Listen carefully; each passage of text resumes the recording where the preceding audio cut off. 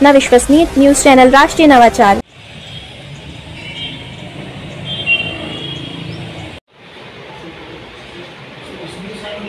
कुछ निराकरण हुआ कुछ जानकारी मिली?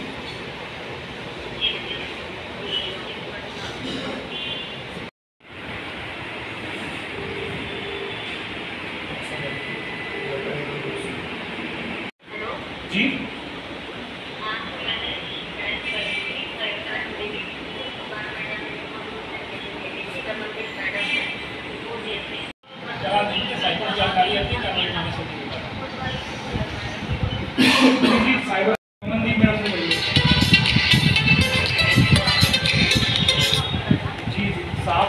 थे स्पीकर पे स्पीकर पे। थे।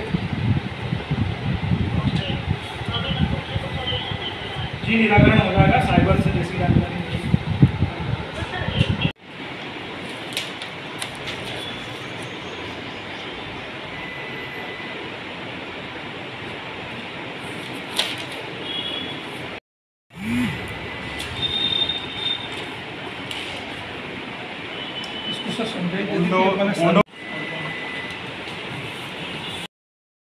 मकसूद जी बात कर रहे हैं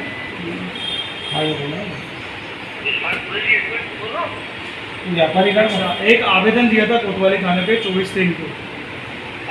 हाँ सब व्यापारी गण ने मिलकर दिया था एक आवेदन।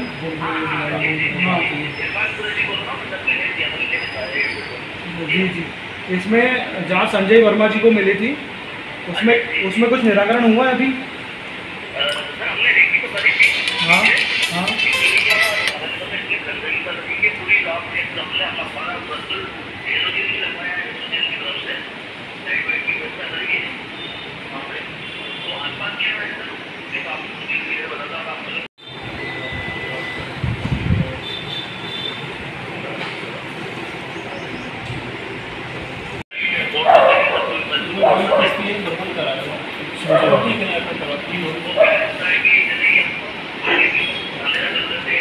ठीक है, उसका निराकरण करवा देंगे आवेदन का, संजय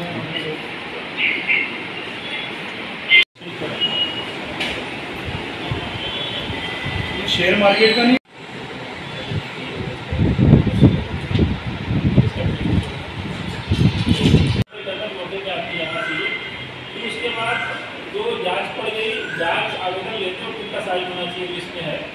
निराकरण लिख के निराकरण का भी साइन होना चाहिए तो निरा-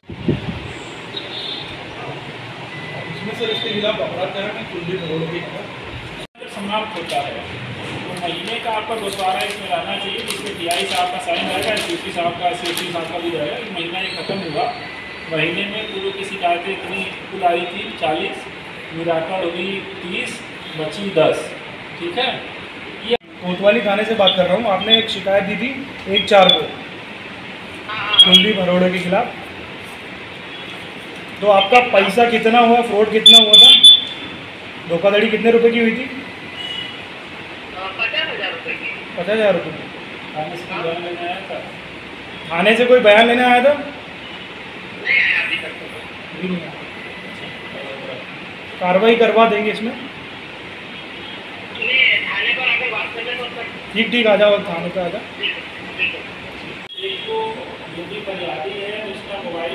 है तो है तो उसका स्पष्ट हो कई बार लोग नाम लिखते हैं और गंगानगर श्यामनगर लिख देते हैं।